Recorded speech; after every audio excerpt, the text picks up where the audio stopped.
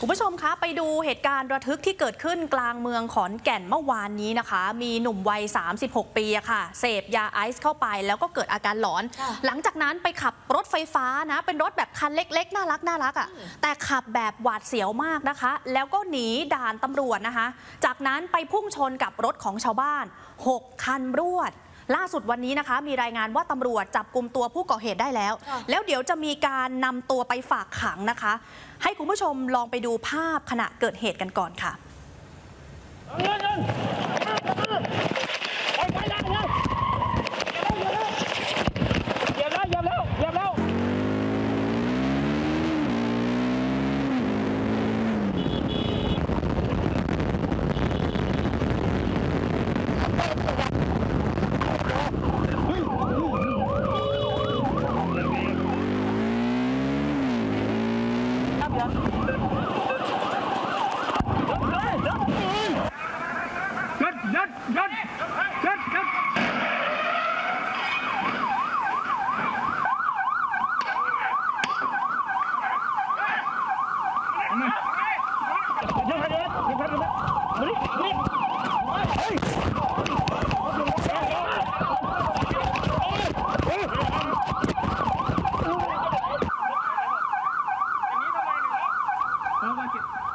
ชมดูคลิปเนี่ยระทึกเหมือนอย่างกับในหนังเลยนะคะค่ะแล้วรถที่ตัวของผู้ก่อเหตุขับเนี่ยเป็นรถไฟฟ้าคันเล็กๆ นะ น่ารักน่ารัก แต่ขับแบบนี้อะค่ะ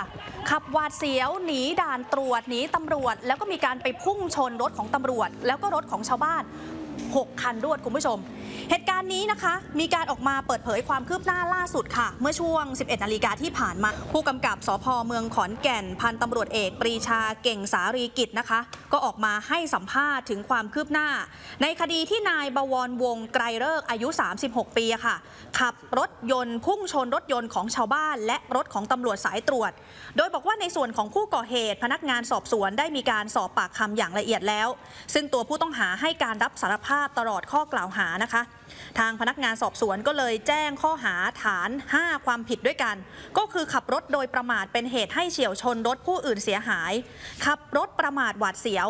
ขับขี่รถชนแล้วหนีนะคะ ขับขี่รถโดยไม่คำนึงถึงความปลอดภัย แล้วก็เป็นผู้ขับขี่มีสารเสพติดให้โทษประเภทที่ 1 ยาไอซ์ในร่างกายโดยผิดกฎหมาย โดยหลังจากนี้จะมีการนำตัวผู้ต้องหาไปฝากขังต่อศาลนะคะ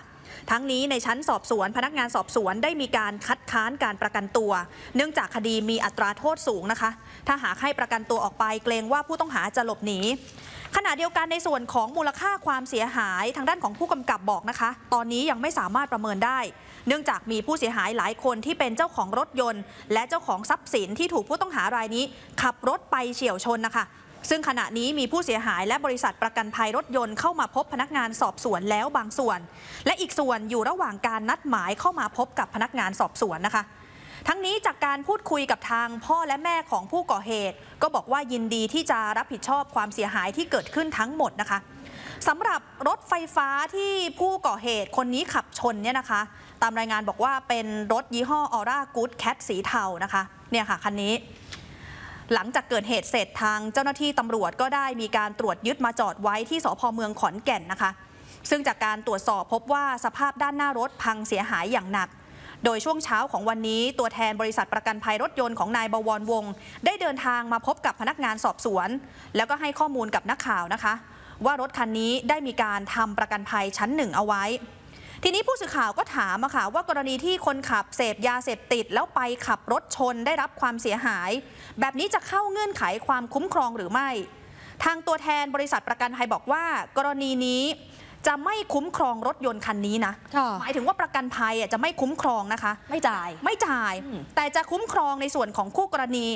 ซึ่งคู่กรณีที่รถยนต์เสียหายสามารถเรียกร้องค่าเสียหายจากบริษัทประกันภัยได้ ค่ะอ่าเนี่ยค่ะคุณผู้ชมคือเป็นรถยนต์ไฟฟ้าคันน่ารักอืมแต่พฤติกรรมคนขับไม่น่ารักเลยนะคะค่ะถึงขั้นขับไปป่วนเมืองไปชนคนอื่น เสียหายไปถึง 6 คันรวดแบบนี้ แล้วคุณผู้ชมเห็นในคลิปหรือเปล่าค่ะอหนีนานเลยนะอืมตำรวจก็พยายามจะขับตามเนี่ยค่ะคุณผู้ชมรถผู้ก่อเหตุนะคะ แล้วเขามีการใช้อุปกรณ์ เขาเรียกเป็น Stop Stick ค่ะค่ะ ล่าสุดรองพบตรถึงขั้นชื่นชมตำรวจในพื้นที่ขอนแก่นนะคะ บอกว่าใช้ยุทธวิการเอ่อวิธีการนี้ถือว่าถูกต้องค่ะชื่นชมเลย ถึงขั้นบอกให้มีการถอดบทเรียน ให้พื้นที่อื่นเนี่ยไปดูตามด้วยค่ะเนี่ยค่ะคุณผู้ชม ทางรองต่อศักดิ์นะคะพลตำรวจเอกต่อศักดิ์สุขวิมลรองผู้บัญชาการตำรวจแห่งชาติบอกเลยนะคะ ชื่นชมตำรวจขอนแก่นใช้ยุทธวิธี อุปกรณ์สต็อปสติ๊กหยุดรถกรณีฉุกเฉิน ขวางรถผู้ก่อเหตุได้ หลังเราเห็นผู้ก่อเหตุเองเนี่ยนะคะ คุ้มคลั่งขับรถชนด่าไปทั่วเมืองค่ะ ล่าสุดตามรายงานบอกว่า ได้มีการนะคะให้พื้นที่อื่นนะคะซักซ้อมเผชิญเหตุแบบนี้ ให้สม่ำเสมอเหมือนกัน แล้วก็ไปตรวจสอบอุปกรณ์ให้มีความพร้อมในการปฏิบัติหน้าที่ตลอดเวลา ขอชื่นชมตำรวจทุกนายที่เกี่ยวข้องกับเรื่องนี้ยึดหลักยุทธวิธีในการปฏิบัติหน้าที่ คือนำอุปกรณ์สต็อปสติ๊กมาใช้ ลดความรุนแรง และความสูญเสียที่อาจจะเกิดขึ้น ทั้งต่อประชาชนผู้บริสุทธิ์ ผู้เกาะเหตุรวมไปถึงตัวของตำรวจเองนะคะ นี่ก็เป็นการแสดงให้เห็นถึงความพร้อม ความใส่ใจ ความร่วมมือ ความมีมาตรฐาน สามารถเป็นแบบอย่างที่ดีนะคะ เนี่ยค่ะคุณผู้ชมก็ช่วยได้เยอะเลยนะอืมอุปกรณ์ตัวนี้นะ คือถ้าไม่ใช้หยุดนะคะค่ะอไม่รู้ว่าจะหนีไปแล้วชนรถชาวบ้านเสียหายไปอีกกี่คันนะคะค่ะ